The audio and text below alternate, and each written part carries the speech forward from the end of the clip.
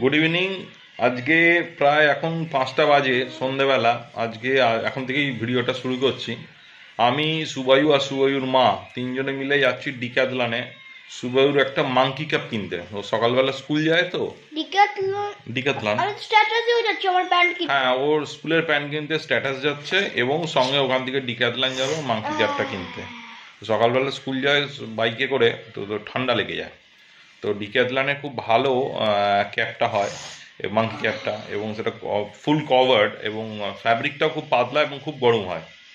তো দামটাও খুব অ্যাফোর্ডেবল তো তাই কিনতে যাচ্ছি। আজকে সুবায়ুর সকালবেলা চুল কেটেছে মাথার চুলগুলো বারবার আঙ্কেল সব নিয়ে নিয়েছে ঠিক আছে?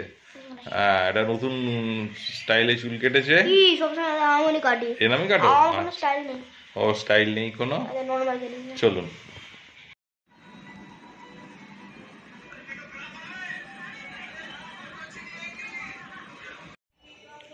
বেরোচ্ছি আমরা এখন।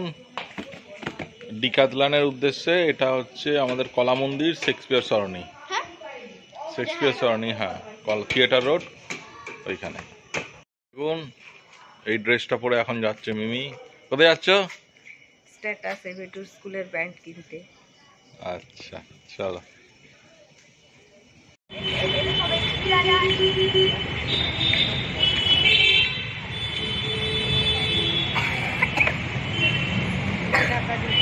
দাঁড়াও।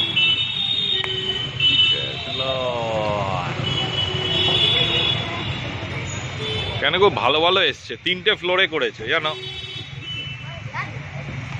দাঁড়াও।